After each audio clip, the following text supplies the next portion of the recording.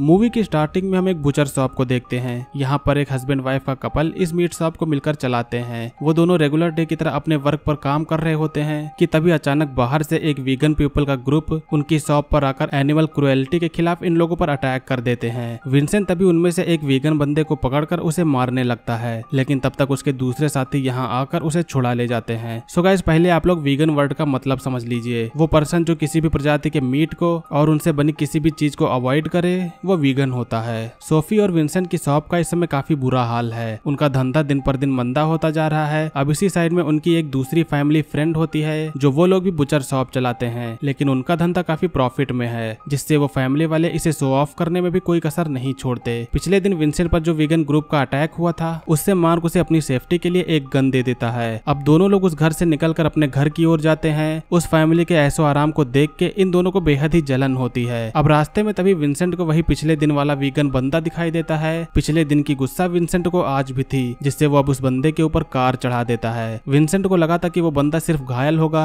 मगर इसकी वहीं पर मौत हो जाती है। इस बात से विंसेंट बेहद घबरा जाता है। वो सब पुलिस को ये सब एक्सीडेंट बताने के लिए कहता है, मगर सोफी उसे ऐसा करने से रोक लेती है और कहती है कि हमें इस बॉडी को ठिकाने लगाना होगा। अब घर आने के बाद में विंसेंट इस आदमी की बॉडी को ठिकाने लगाने के लिए उसकी बॉडी के टुकड़े करके उसे फेंकने वाला होता है, लेकिन उसे काटते समय उसके मांस का एक टुकड़ा उसके डॉग के पास गिर जाता है और वो डॉग उसे खा लेता है। विंसेंट इसे देख के हैरान होता है। वो फिर से अब कान का टुकड़ा अपने डॉग के पास फेंकता है, जिससे फिर से वो डॉग उसे चाव से खा जाता है। इसे देखकर विंसेंट के मन में एक आइडिया आता है और वो इस आइडिया को अपने वाइफ के पास में जाकर उसे बताने की कोशिश करता है, लेकिन रात ज़्यादा हो जाने के कारण वो सो जाते हैं। अब अगले दिन विंसेंट उठ के अपनी शॉप पर जाता है तो उसने जो इंसान के मांस को काट कर अलग करके रखा हुआ था तो उसकी वाइफ ने अनजाने में उसे काट के एक कस्टमर को बेच दिया। ये बात जब विंसेंट को पता चलती है तो वो बेहद डर जाता है। लेकिन तभी वहाँ वही कस्टमर आती है और वो कहती है कि मैं जो ये मीट ले गई थी वो बेहद ही टेस्टी था। मुझे यही मीट और चाहिए। अब इसके बाद में सोफी भी इस मीट को खा के देखती है तो ये सच में काफ़ी टेस्टी होता है। विंसेंट अब उसे बताता है कि ये मीट एक ह्यूमन फ्लेश है। सोफी इससे काफ़ी गुस्सा हो जाती है, मगर तब तक यहाँ पर और भी कस्टमर आकर उसी टेस्टी मीट को खरीदने के लिए आ जाते हैं, क्योंकि पहले वाली कस्टमर ने इसके बारे में और लोगों को भी बताया और यहाँ पर अब इस मीट को खरीदने के लिए काफ़ी भीड़ लग जाती है। यहाँ तक की पुलिस को भी इस बात की खबर नहीं हो पाती है कि वो एक ह्यूमन फ्लेश बाई कर रहा है। विंसेंट ने इस मीट को ईरानियन पोर्क का नाम दिया, जिससे कि कोई शक न कर पाए कि यह एक ह्यूमन फ्लैश है। अब एक ही बार में उन्होंने ये मीट बेच के काफ़ी पैसे भी अर्न कर लिए। रात हो जाने पर विंसेंट भी इस मीट को खा के देखता है, जहाँ पर उसे पता चलता है की यह वाकई में काफ़ी लाजवाब है। यहाँ पर उसकी वाइफ उसे अपने धंधे को फिर से बढ़ाने के लिए उन्हें वीगन्स को मारने का आइडिया देती है। विंसेंट अपने मन में एक टाइम के लिए ये बात तो सोचता है, मगर फिर वो अपनी वाइफ से कहता है कि मैं एक सीरियल किलर नहीं बनना चाहता। अब अगले दिन उन दोनों की बेटी क्लोई अपने बॉयफ्रेंड लूकस के साथ में उनके घर आती है। दोनों लोगों ने उन दोनों के लिए ढेर सारा खाना भी बनाया था, लेकिन लूकस यहाँ पर एक वीगन होता है जिसे वो कुछ भी नहीं खाता। अब कुछ न खाने पर सोफी उसे वाइन सर्व करती है, लेकिन लूकस फिर से कहता है कि वो सिर्फ़ वीगन वाइन ही पीता है। फिर सोफी उसके लिए केक लाती है, लेकिन इसमें अंडा पड़ा होने के कारण वो इसे भी नहीं खाता। लूकस के वीगन होने पर क्लोई भी उसी के जैसे वीगन बन जाती है, जिससे अब इन सबसे विंसेंट वीगन लोगों से और भी चिढ़ जाता है। जिसके बाद वो सोफी के आइडिया को मानते हुए अपने शॉप को चलाने के लिए एक वीगन बंदे को मारने के लिए निकल जाते हैं। वो दोनों एक वीगन रेस्टोरेंट में जाते हैं, जहाँ पर उन्हें एक अच्छा खासा चबी वीगन बंदा मिलता है। अब रेस्टोरेंट से बाहर निकलने पर विंसेंट उस पर वार करके उसे मारने की कोशिश करता है, लेकिन वो ऐसा करने से डर जाता है और फिर दोनों लोग इस जगह से जल्दी से भाग जाते हैं। सोफी अब फिर से उसे कन्विंस करते हुए समझाती है। वो कहती है कि हमें अपनी शॉप को चलाने के लिए ऐसा करना होगा। जिसके बाद वो लोग अगले दिन फिर से ट्राई करते हैं। वो लोग एक पब्लिक प्लेस में जाकर वहाँ पर लोगों को वीगन बनने के प्रति जागरूक कर रहे होते हैं। ये नाटक वो लोग इसलिए करते हैं जिससे कोई ना कोई वीगन बंदा उनकी सराहना करने के लिए ज़रूर आएगा, और ऐसा होता भी है। एक बंदा जो यहाँ पर आकर उनकी इसके लिए तारीफ़ करता है और बाद में उन्हें मिलने के लिए बुलाता है। ये दोनों भी ये मौका छोड़ने वाले नहीं थे।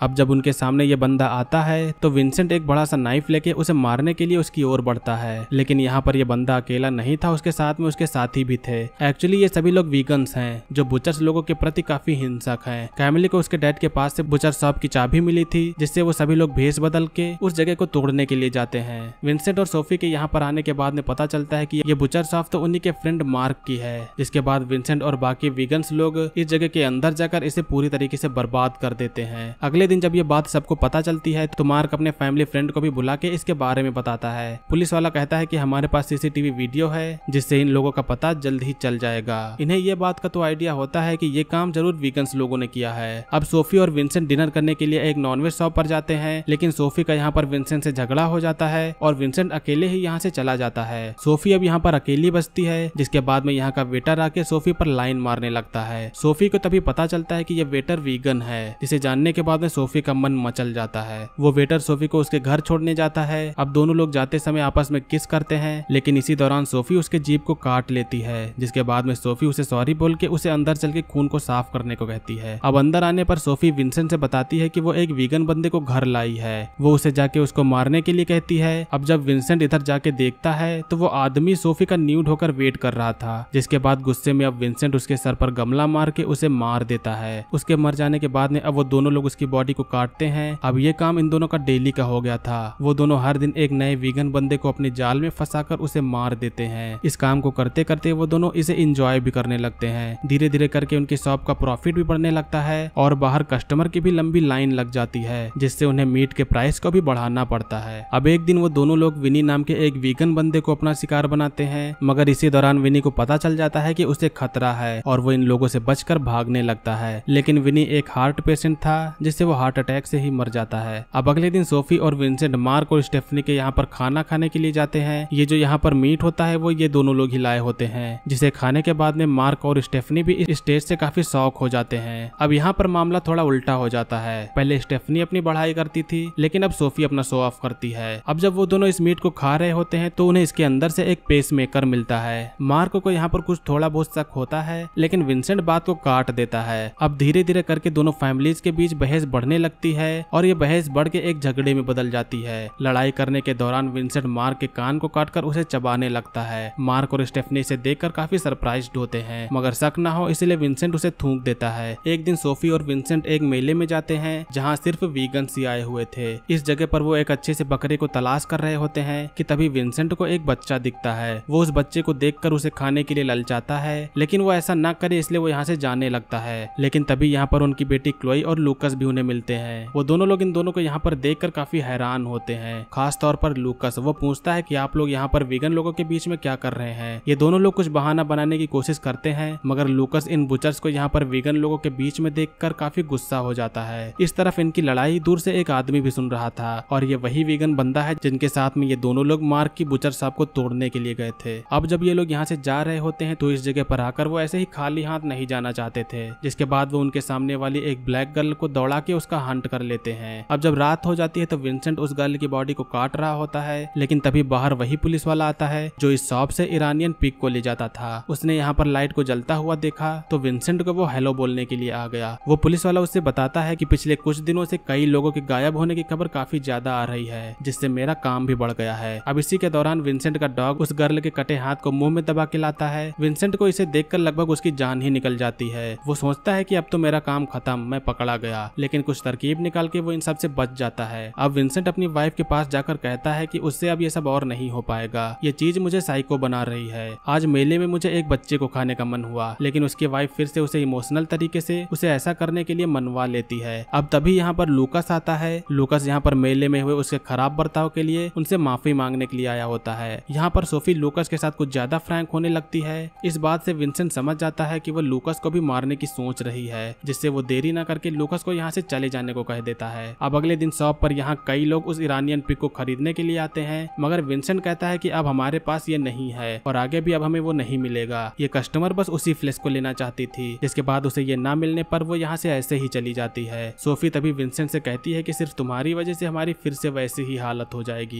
जिसके बाद में विंसेंट गुस्सा होकर यहाँ से चला जाता है। विंसेंट के जाने के बाद में अब यहाँ पर वही वीगन्स लोग आ जाते हैं, जिनके साथ में वो बुचर साहब को तोड़ने के लिए गए थे। अब इन वीगन्स को पता चलता है कि वो एक बुचर है, जिसके बाद में वो सोफी को किडनैप कर लेते हैं। इस तरफ़ विंसेंट जब घर वापस लौटता है तो वो देखता है की वही वीगन ग्रुप की वैन उसके घर के बाहर खड़ी है, जिससे वो जान जाता है की कुछ गड़बड़ है। अब इधर जब वो लोग सोफी को मारने वाले थे तो इसी दौरान यहाँ पर विंसेंट आके उन लोगों पर हमला करता है। कैमली जो कि एक ही झटके में मर जाती है, और फाइट करने के दौरान अब विंसेंट भी यहाँ घायल हो जाता है। मगर सोफी ने अपने हाथ को छुड़ा लिया था, जिससे लास्ट वीगन बंदे की भी अब मौत होती है। अब यहाँ पर ये दोनों लोग बच जाते हैं। सो गाइज़ भले ही विंसेंट और सोफी बच गए हैं, मगर कई लोगों के मर्डर करने के बाद पुलिस ने उन्हें पकड़ के उम्र भर के लिए जेल में डाल दिया। और पुलिस को ये बात मार्क और स्टेफनी ने बताई थी। उन्हें उस दिन से ही शक हो गया था जब विंसेंट ने मार्क के कान को काटा था। और यहीं पर इस मूवी का एंड होता है। सो दोस्तों, ये थी 2021 की एक हॉरर स्लैशर मूवी का एक्सप्लेनेशन मूवी का एक्सप्लेनेशन अगर आपको पसंद आया तो वीडियो को लाइक करिएगा। चैनल पर अगर आप लोग नए हो तो सब्सक्राइब करिएगा। आज की वीडियो के लिए बस इतना ही। मिलेंगे अगली वीडियो में। तब तक के लिए बाय। जय हिंद, वंदे मातरम।